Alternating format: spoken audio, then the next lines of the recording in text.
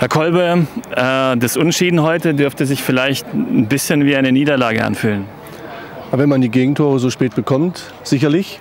Wenn man das Spiel nüchtern und ganz objektiv betrachtet, muss man wirklich sagen, dass der Fortuna Kirchfeld über die 90 Minuten hinweg sehr viel Aufwand betrieben hat und den Punkt nicht unverdient mit nach Hause nimmt. Warum hat man eine 2 zu 0 Führung nicht verteidigen können? Weil man zwei Fehler macht und der Gegner zweimal zuschlägt.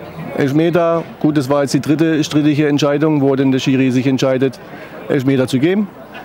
Aber in der letzten Minute darf man nicht so schlafmützig sein und einen äh, Gegenspieler am langen Pfosten äh, völlig blank stehen lassen. Das darf uns definitiv nicht passieren, aber ist heute passiert, deswegen müssen wir den Punkt leben. Ihr vierter Spieltag in der Landesliga als Aufsteiger. Fazit? Aber wir hatten schon ein knackiges Auftaktprogramm mit ähm, den Spielen der Heumge Lange Steuerbach, sehr abgezockte Truppe, ballsicher. Dann äh, beim CFR konnten wir unseren ersten Sieg erringen. Danach ging es zum Top-Favoriten nach Mutschelbach, wo wir auch uns nicht so schlecht verkauft haben. Allerdings haben wir heute mit einer extrem großen Personalsorgen, oder mit sehr großen Personalsorgen kämpfen müssen zwei rot gesperrte Spieler, zwei Spieler im Urlaub, ähm, drei angeschlagene und ein, und ein bzw. zwei Dauerverletzte. Es fehlen, haben uns heute acht, acht Spieler gefehlt.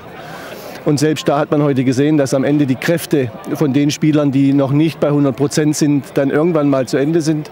Da mussten wir wechseln und dann konnte man nicht mehr diese hm, ich sage mal, in diese Abgeklärtheit bei eigenem Ballbesitz umschalten und habe die Bälle zu leichtfertig hergeschenkt.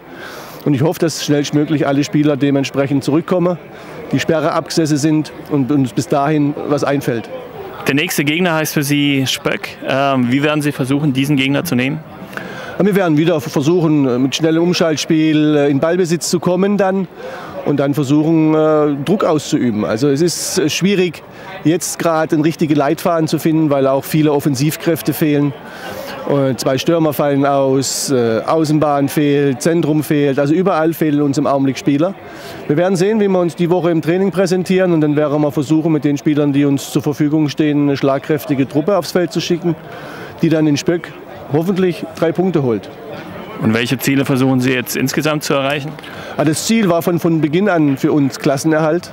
Es ist eine sehr schwere Liga sehr ausgeglichen mit sehr viel äh, Erfahrung in den einzelnen gegnerischen Mannschaften. Und diese Erfahrung habe mir auch, allerdings konnte man sie zur Zeit so richtig nicht auf den Platz bringen.